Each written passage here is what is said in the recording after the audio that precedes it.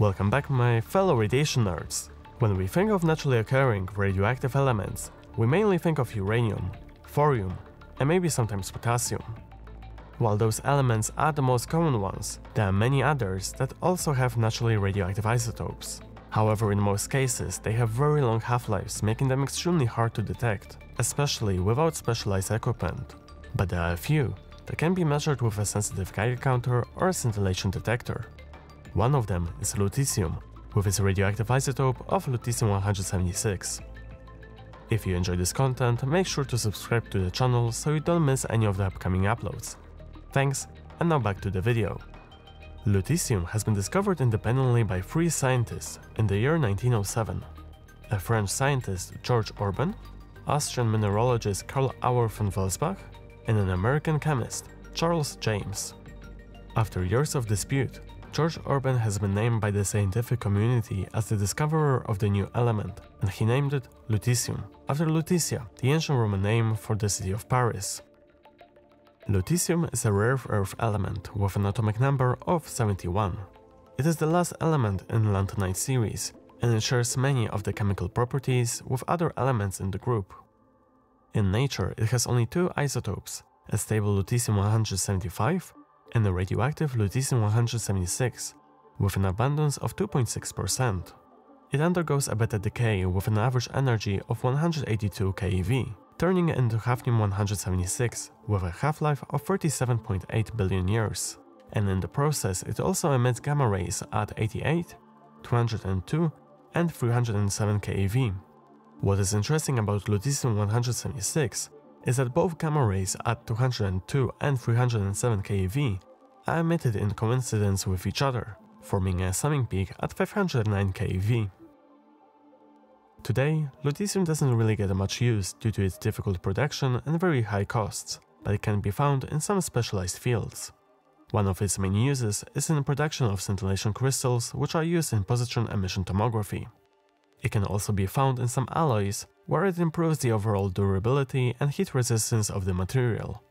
And thanks to its long half-life, lutetium-176 can be used for lutetium-hafnium dating of meteorites. At the moment, I have two types of lutetium samples. The first one is in the form of LYSO scintillation crystals, which I got from a friend of mine. Thanks James. I've linked his eBay store in the video description in case you wanna grab one for yourself. When measured with my SE International Radiation Alert Ranger, which uses LND 7317 pancake cell tube, I got a result of 73 counts per minute from a single crystal. That is only 30 counts per minute over the background radiation.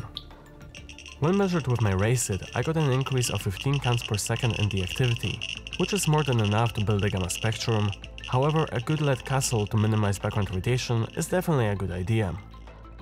As mentioned before, these crystals are used in positron emission tomography, and when exposed to radiation, they glow in a light blue color. My second sample is a metal coin made out of pure lutetium metal, which measures around 24.3 mm and weighs around 8.43 grams. This means it should contain around 0.22 grams of pure lutetium-176 and have an activity of 432 becquerels. Compared to the LYSO crystal, the activity is a bit higher, and it reads around 160 counts per minute above background on my Ranger and 55 counts per second on my RAYSID. Since the coin is made out of pure metal, it is much denser than the LYSO crystal, and some of the activity gets self-shielded, which results in the readings being a bit lower than expected. In nuclear medicine, a synthetic isotope of lutetium-177 is used in targeted cancer therapy. It is produced by neutron irradiation of lutetium-176, and it decays through a beta emission into hafnium-177, with a half-life of 6.65 days and in the process it emits two gamma rays at 114 and 208 keV. A friend of mine works in a nuclear lab, and recently they received a fresh batch of lutetium-177 for their experiments, and he was kind enough to make some videos showcasing the samples and making a gamma spectrum. Big thanks for the help.